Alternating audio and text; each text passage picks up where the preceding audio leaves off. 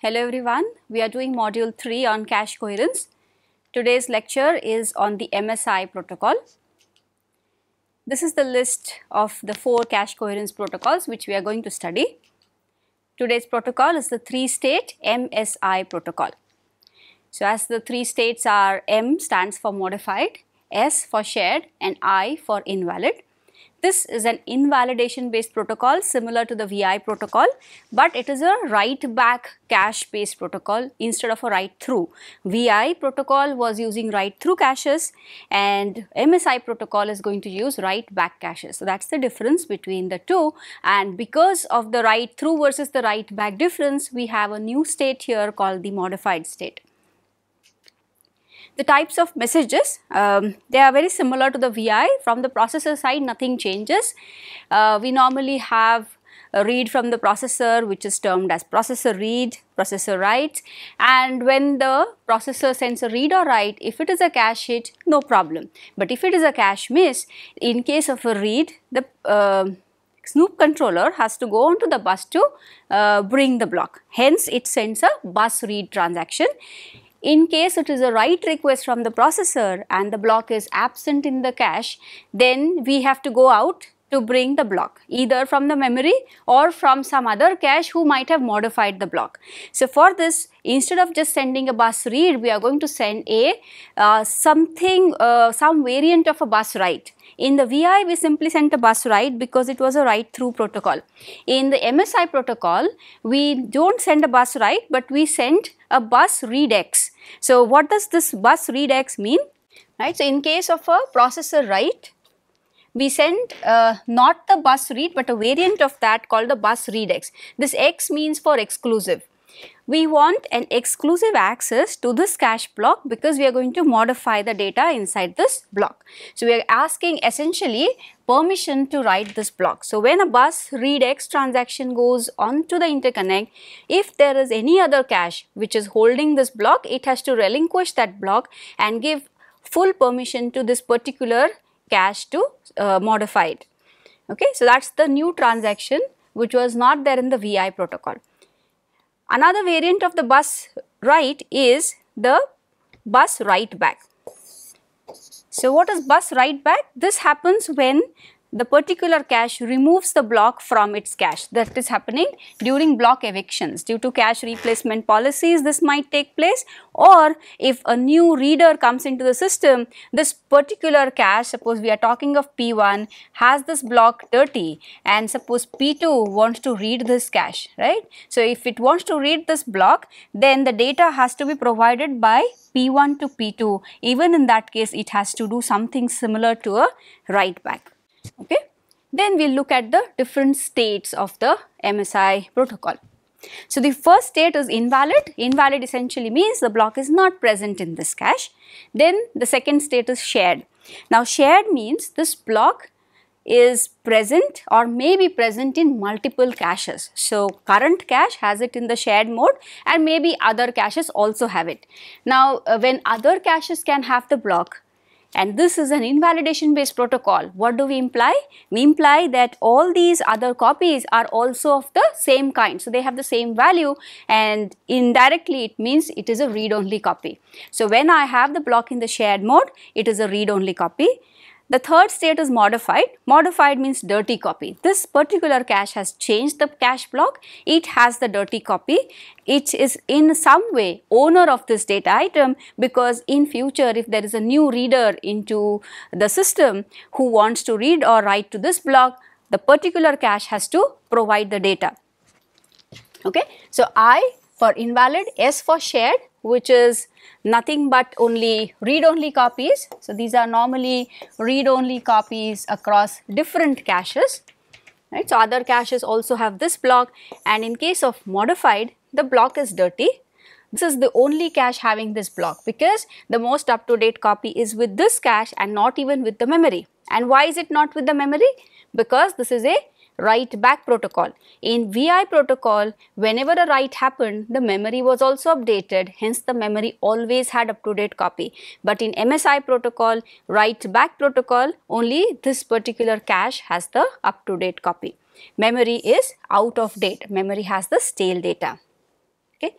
This being a invalidation based protocol, so whenever the cache goes to state M, it has to invalidate all the other copies. So these, uh, this is the meaning of the three states. Okay. Okay, so let us do the FSM interactions as a sample example.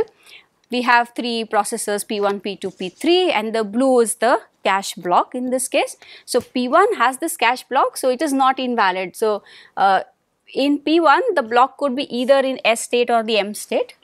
In P2 also it is not invalid so it could be probably here and because it is both in P1 and P2 we can infer that it could be in shared state in these two whereas in P3 it is in invalid state because P3 does not have this block right. So, this is the global uh, 3 FSMs which I have. Now, uh, here if P1 reads it has the block so it can simply do a hit into the cache and finish its work. Similarly, P2 also can finish reading because both have the copies with them. P3 has nothing to do with this transaction. Next, if P2 tries to write to this block, if P2 wants to write, presently it is in the shared state, it is in the shared state and it when in shared state it knows that there could be probably other copies into the system and hence it has to invalidate others. So it sends this some message over the bus and that message deletes the block inside P1. So P1 moves to this when I do this second uh, example right. During the first one both were in 1. When I do step number 2 P1 moves to 2, P3 is already invalidated. Later, if P3 tries to read, if P3 tries to read the block during the third example, P3 will actually go into the shared state because it is wanting to read, but before it goes to the shared state, it puts the bus read transaction and who will provide the data? In this case P2 because P2 has done the most recent write. So P2 gives the data and P2 moves to the shared state in this case because after giving the data to P3, P2 is not permitted to modify because there is another sharer into the system and hence P2 becomes shared. P1 state does not change. So P1 is uh, equal to invalid in this case. So P1 is invalid, P3 reads and its state becomes S okay. So this is an informal discussion of how these FSMs interact with each other through this MSI protocol. Right, so we have seen these three things 1, 2 and 3 and in the FSMs I have put the states which uh, they go through during these uh, three examples. So I will just uh, put them here and during 2 also P3 remains uh, I. So for these three uh, steps or examples which I have uh, taken I will list them inside this FSM. So for P1 we have listed that during step 1 it is uh, shared, step 2 it uh, becomes invalid and even in step 3 it is invalid. For P2 initially it is S then during 2 when it writes it becomes modified during 3 it becomes shared and uh, for P3 it is invalid during 1 and 2 and it becomes shared during step number 3. Okay. So that was uh, a sample introduction of how these FSMs will interact with each other. Now we will look at actual transactions which happen in the MSI protocol, right. So uh, the popular ones as we did with VI also is related to the bus. So the bus read and instead of the bus write we have a different transaction called the bus read X or the bus write back. Now what is bus read? When a processor read comes, it misses into the cache. So the cache controller has to send a bus read transaction on the interconnect so that whoever is the owner of this particular block will give you the data. Now the data will come either from the memory or from another cache who has recently modified the block. That is the bus read. Bus read exclusive. Now when a processor write happens, and that block is not present in the cache, then you have to bring the block.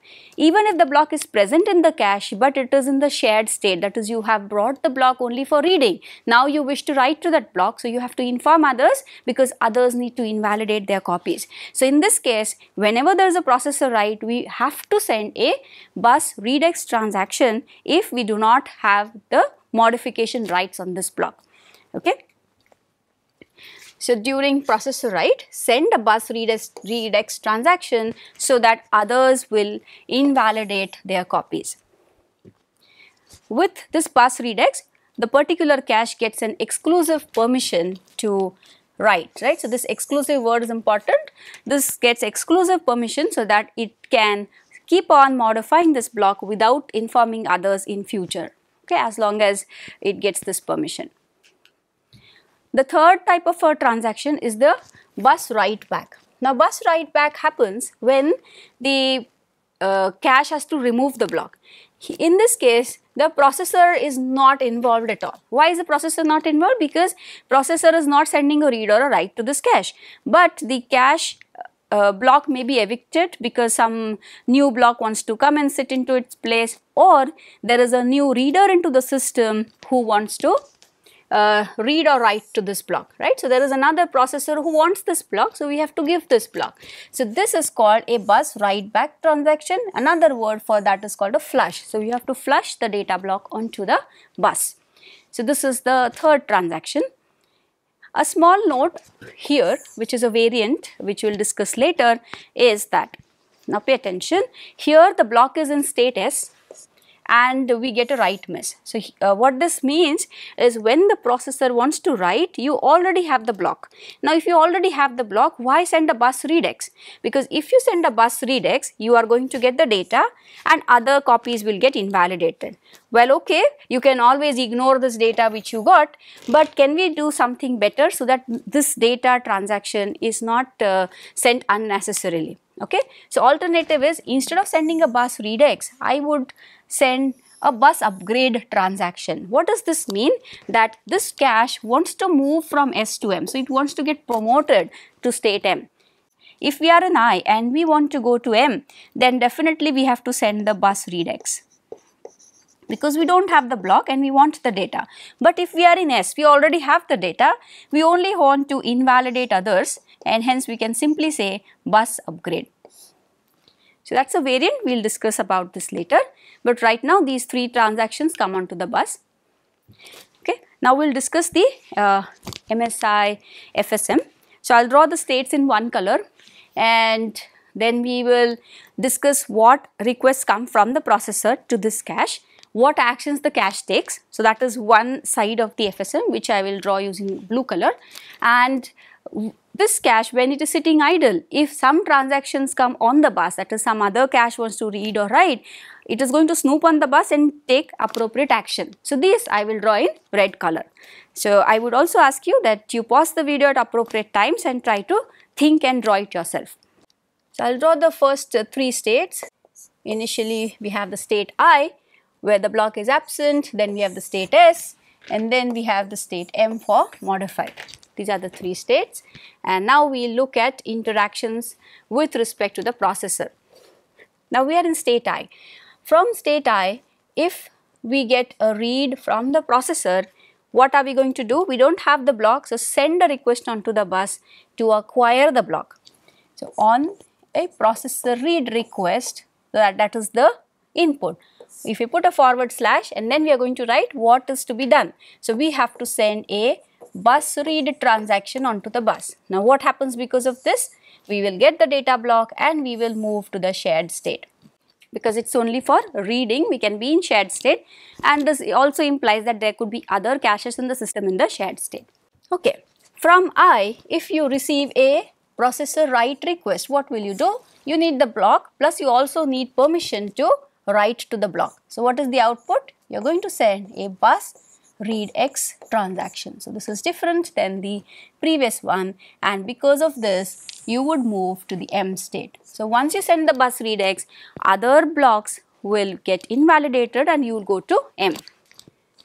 Alright. Now, from the S state, within the S state, if you receive a read, what will you do? You will have a self loop here on processor read okay and nothing has to be done. So, the output is a hyphen that is nothing goes onto the bus you can continue to read the block. Within S if you receive a processor write what are we going to do? We are going to send the bus readx. Right now I am not using the optimization. In this I will just say bus readx transaction goes and we move to the state M. Within state M all the reads and writes will hit and we do not need to inform on the bus. So processor read nothing to do sorry processor write again nothing to do. Okay. With this uh, we have completed all the processor read write interactions on this particular FSM. Now in the red color we will write what should this particular cache do if it receives a bus read or a bus read X. Okay. If we are in the state I, if we receive a bus read or a bus read X on a particular block, we do not have the block so we have to do nothing. So I am not going to draw those arcs. So nothing to do from state I. In state S, if you receive a bus read, what will we do?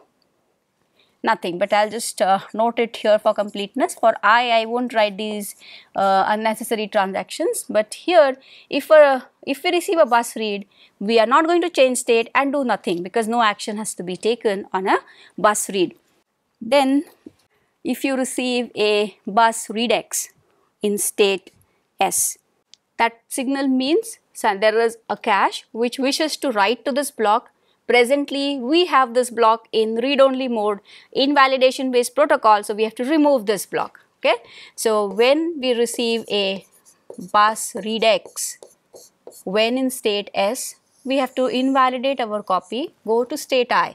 Any action to do? Nothing, because the data block will be provided by the memory in this case.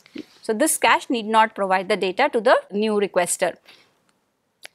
From state M, if you receive a bus read, state M, bus read says there is another cache wants to read this block. They want to read, we can also continue to read. Okay, so we can safely move to state S on a bus read. Bus read comes, you can move to state S but uh, we have more responsibility here that the latest copy is with us and so we need to send that copy on to the bus by the flush transaction. So on a bus uh, read you still have to give the data. What happens if you receive a bus read X while in M? That would say that I have a bus read X comes when we are in state M. Here again we need to give the data because we have the recent copy. What should be our next state? Somebody wants to write to this block, so we can't hold it anymore and we have to go to state I. Okay. So that's how the FSM gets built. And here uh, I have given a neater picture of the same thing which we worked out. Okay. Similar exercise to the VI protocol, we will try to fill this MSI state transition table. Again, I request you to pause the video, look at the FSM and try to fill it yourself. So, we will do it slowly during this lecture. Okay, so blue is this processor and yellow is the other processors in the system. If this processor sends a load that is a processor read request and we do not have the block, so we are in valid state, what should we do? This is going to result into a cache miss. The block will get loaded and what is the next state? The next state will be S. So, you will get the block and move to the state S. When there is a store from this particular processor, even this results into a cache miss. But here once you get the data, you will move the, to the state M uh, because we are going to modify the content. Here this is a cache hit and we are reading the block, we already have it in the S state, so nothing to do. Here this is a hit but the hit happens only on the block but it is in the read mode. So actually this is a read hit but a write miss. So when it is a write miss we need to send the bus readx or the bus upgrade transaction and then shift to the state M. If in the modified state nothing to do both turn out to be hits. Okay, in the yellow processor that is other processors sending a load request. So another processor wants to load, it will send a bus read. We don't have the block in invalid, so don't do anything here. Another processor wants to read, we have the block in read only, but we don't need to take any action here. Another processor wants to write, we have the block in shared, so what will we do here? We need to invalidate our block, move to the state I, no data to be provided, we only have the read only copy. Last row, another processor wants to read, we have the block in modified state. So here we need to send the data. You have to send the data to the processor and change to state S because we can continue to read. And the last row, again, you have to send the data but here in the last cell the other processor wants to write to this block so we need to move to the state i right so that's how we'll fill this table and a neater version is given in the slide okay one more example we have processor a and b and that's the order of the time so this is the order in which things happen. So, we need to list actions uh, taken by the processor, what are the different states of the cache and so on when we try to run this example. Okay, so let us start with load x. So, when processor says, uh, processor A says load x, what are we going to do? We do not have the block. So, we are going to send a bus read, get the data and move to state S. On the store x, we are going to send a bus read x and then move to state M. Here on the blue load X what is going to happen? Blue load X will send a bus read transaction. Once it sends the bus read transaction it is going to get the data from whom? In this case A will give the data and we will move to the state S. Store X will send a bus read X transaction once you send a bus read X, the data is already with this processor, but this processor moves to M and here the processor A goes to state I. Right. So, the same thing is listed here. So, as the transactions happen or as the instructions get executed in every processor in the order of time, we have to understand how the protocol will behave. Okay. Uh, the same cache coherence example which we are familiar with, first P1 reads U, P3 reads U, then P3 modifies U, P1 and P2 try to read U. So, we are going to solve this coherence problem using MSI protocol. For this, we are going to use this table and see if we can have a coherent behavior of the system. Okay. So, in the second column here, we have written what the processors are trying to do and we will fill the remaining table. Okay. So, when P1 reads U, what should happen? P1 reads U none of the processors have the block. So, state in P1 here, what am I going to write here? What becomes the state? The state will become S. What is the bus action? We are going to send a bus read. And who gives the data? Memory. Similarly, when P3 reads U, memory gives the data because we send a bus read transaction and the state of P3 becomes S, P1 is already in S. When P3 writes U, it is going to send a bus read X. We do not need the data, but memory will provide, we will ignore the data. So, I will just put a squiggle here. Uh, so, that data is not important, we already have the data and the state of P3 will become M and the state of P1 will become I. When P1 tries to read U again, it will send a bus read. Who's, who gives the data in this case? P3. So, P3's cache will give you the data. Once P3's cache gives the data, it moves from M to S and this one moves to S. And similarly, when P2 reads the data, it will send a bus read. Who will give the data in this case? We can safely assume that when P3 sent the data on the broadcast medium, the memory was updated and hence memory can also give the data here and the state of P2 will become S. Okay. So, that is how we can uh, see that every processor is going to get the correct value of U. Okay, so we have seen the MSI protocols FSM and informally seen how it works. Now we need to look at the correctness aspect of this protocol. For correctness as we've already discussed, we need to prove two properties. One is the write propagation and one is write serialization. Write propagation means that when a cache writes to the block, every cache in the whole system is going to see this block okay see this write happening. That's write propagation. Write serialization means that when the processor writes to the location or when two processors write to the same location in a given order everybody in the system sees the writes happening in the same order. So if you write a then b you should everybody should see the values in that particular order. Okay? So that's about uh, proving the two properties of write propagation and write serialization. Okay, so first we will prove write propagation. Okay, before I go into the detailed proof, uh, an overall idea is that for write propagation, that is for every cache to be able to see that this write has happened, every write should go onto the bus because bus is the medium which will order everything. So, a new writer will send a bus readx. When this bus readx goes, others will see that um, so and so processor is modifying the block, so they will invalidate their copies. So, this bus readx will essentially tell them that a write is going to happen. The writer will eventually finish writing into the block and may continue to write because it is a write back protocol. Later on, a new cache wants to uh, read this block. So, what will it do? It will send a bus read. In that case, the latest values will be sent onto the bus. Right. So, this is the overall idea of write propagation. So, we will uh, discuss it properly here.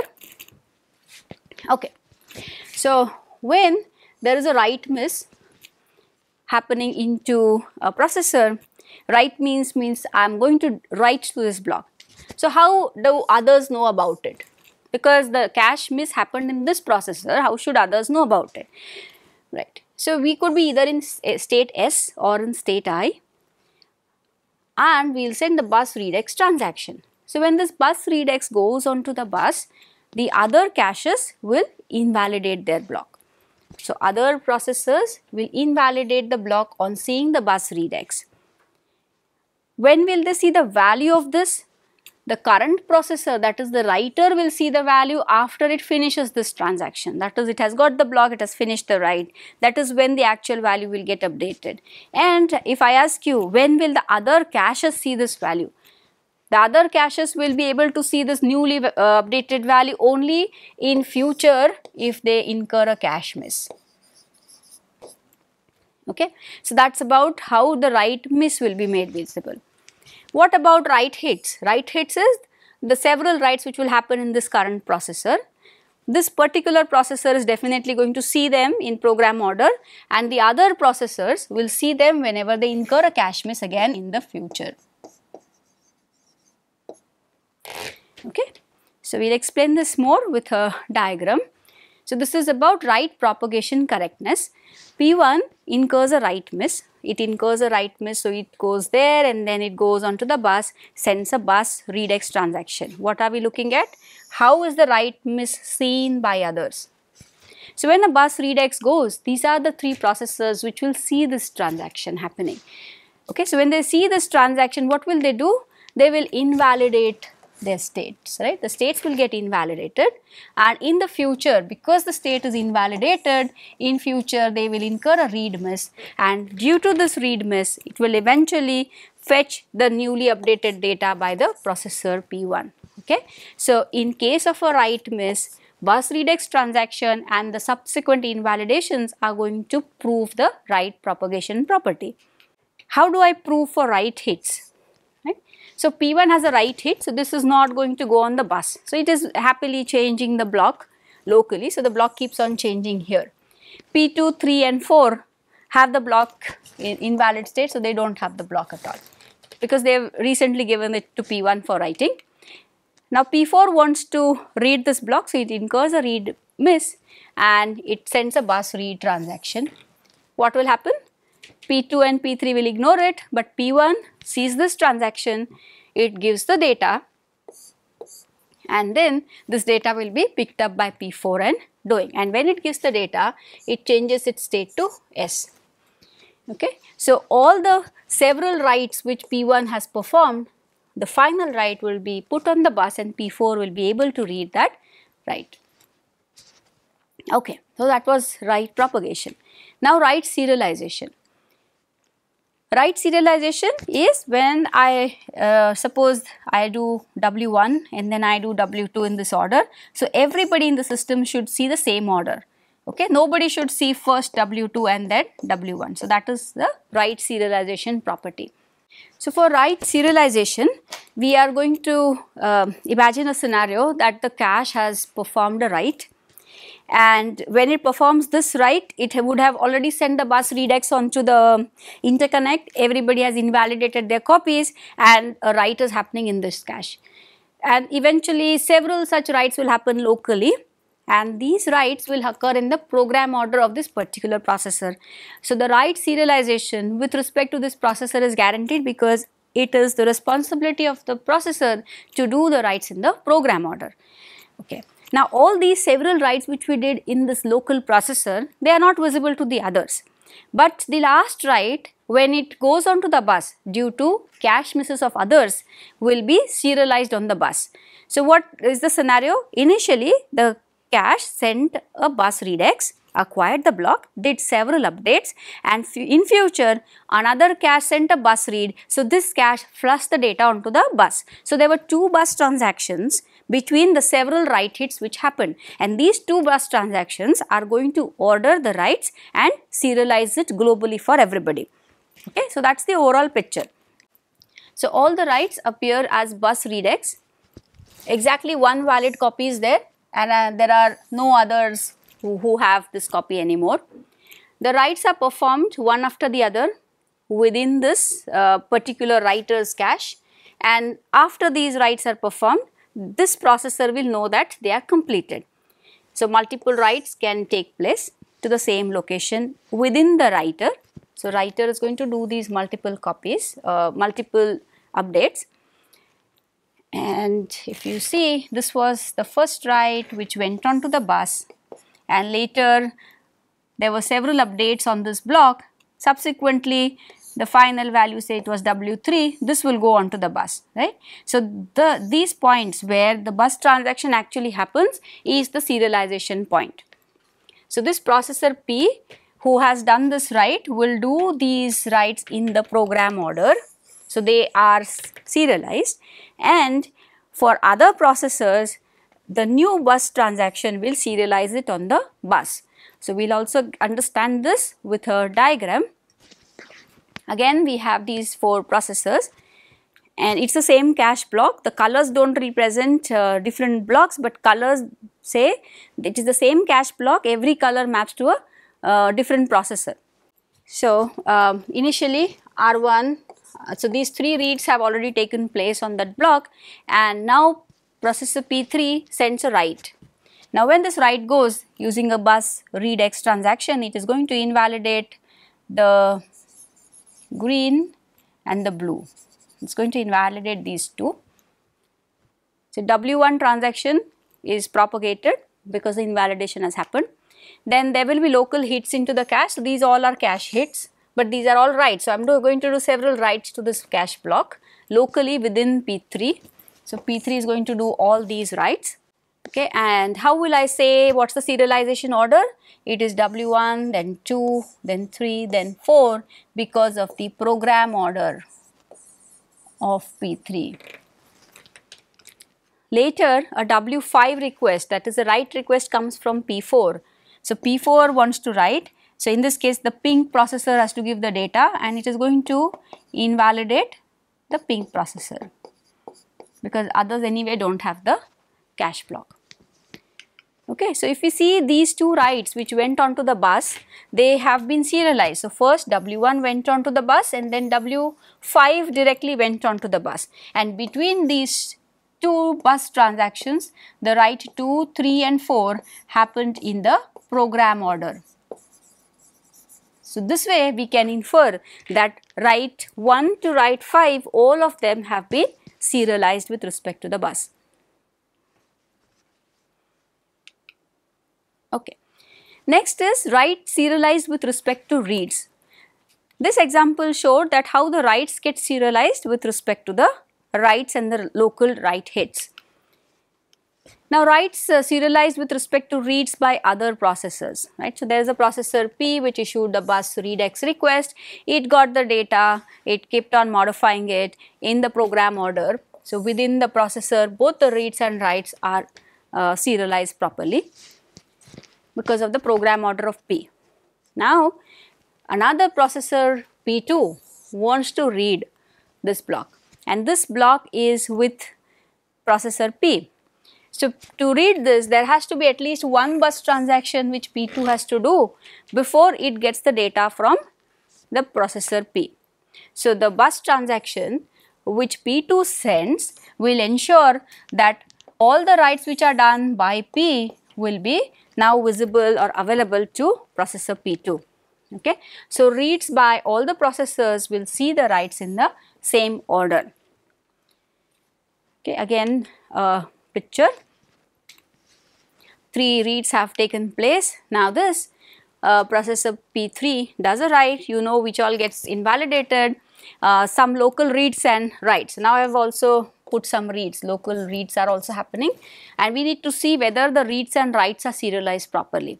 And in this case definitely yes because this is the order in which it is flowing in the program order.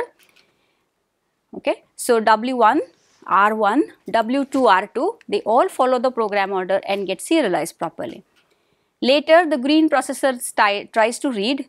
Now how is this read getting serialized? When this read goes onto the bus, it is going to get the data from the ping processor because the data was modified by the ping processor.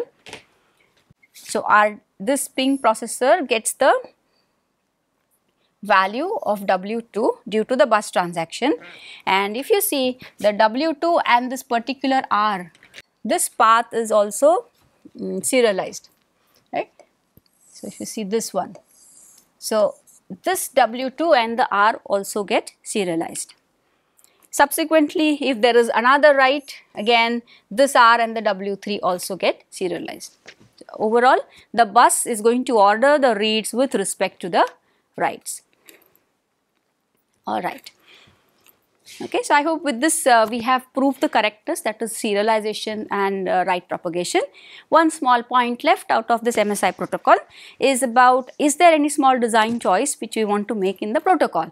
We discussed this small thing in the first few slides about the bus upgrade transaction. Okay, so recollect that I have the state M and the state S. If we are in state M and we get a bus read request onto the bus, what are we going to do? We flush the data because we have the data block with us, we are supposed to provide the data. So, I gave the data onto the bus. Now, once I give the data, I have a choice that should I go to state S that is remain shared or should I go to state I. Okay, we have two choices. But we preferred that uh, I will go to state S because the assumption by the designer is that if we have this block, I will continue to read this block okay I modified it. Somebody wanted it so I gave the block but I will retain a copy because I want to continue reading to this block. And why am I uh, retaining? Because the other cache is wanting only for reading. Other cache is not asking for writing. So overall that wants to read I also can read. So overall reads being more frequent we assume that let us go from M to S. That was my design decision now this holds for many cases, right? This is good enough. Um, it, so this assumption is good enough because the reads are more frequent. However, this does not hold in certain special situations. Now what are the special situations? When I am modifying flag variables or I am modifying shared counters. Now what is a flag variable? This processor P or rather there is a global flag variable which everybody is accessing or a lock variable if you can imagine. So P1 goes sets the flag and so when it sets the flag it wants the block for writing. Later P2 wants to write to this flag. Then again P1 or P3 will want to access. So there will be several uh, processors who will try to read and write in sequence so this will be the pair which will happen and not several reads in a sequence, right. So our assumption was if we continue to read, let us go from M to S. We went from M to S because our assumption was several reads will happen. But the scenario I am discussing is there won't be several reads, there will be one read write followed by another read write by a different processor. Okay. So when we access flag variables, P1 is going to read modify, then P2 is also going to modify it one after the other without having several reads in the middle. Okay. So here what will happen? If I go from M to S in my protocol, when the other processor wants to write, we'll also need a S to I transition. Okay. So we'll have to do this extra work every time because of the given scenario and I want to avoid this. Same problem will occur when I am modifying shared counter. So, there is a counter kept in the memory and every process is going to do a counter plus plus. So, it is going to read the counter updated. So, there are several read write sequences will happen here in this example. Okay. So, in the case of flag variables, if you can see here P1, P1 does the read of the flag, it does the write of the flag. Okay. So, here it is in state S, it moves to state M. Then when P2 does the read of the flag, this one happens like this when P1 also goes to status. Because of this read, it is going to send the bus read transaction. We move from S to, sorry, M to S. Here, P has to go to I from S, whereas this moves to M. So, this particular one transaction, see, see this one. This is an extra work we have to do due to this protocol. Okay, and later again the same thing, P1 wants to read again, it has removed this block, so it has to go to S, then it goes to M and then P2 has to relinquish the M state to P1. So what is the challenge here? This is a migratory behavior. What we saw that the block keeps on moving from one processor to another for writing and our assumption that I can retain the block for a long time for reading no longer holds because of this migratory behavior of this particular block the challenge or the extra overhead. What was the overhead? The overhead was we went from M to S, then we went, went from S to I. So, we had this extra transaction overhead which was unnecessary. Okay. So, now the question is, is this um, good enough or should I change the protocol? Okay, but mostly several reads are going to happen and these are special cases. So, there are processors which modify the protocol at runtime. So, they will see the behavior of the current set of processes and change themselves for from M instead of M to S they will go from M to I. So, at runtime they will update the protocol. However, uh, as you see the designer has got several choices and depending on what choice you do it will going to affect the performance of your system. Okay. So, with this uh, we have finished the discussion of the MSI protocol. We have seen examples, we have proved correctness and also seen several uh, design options which are available to a user. Thank you.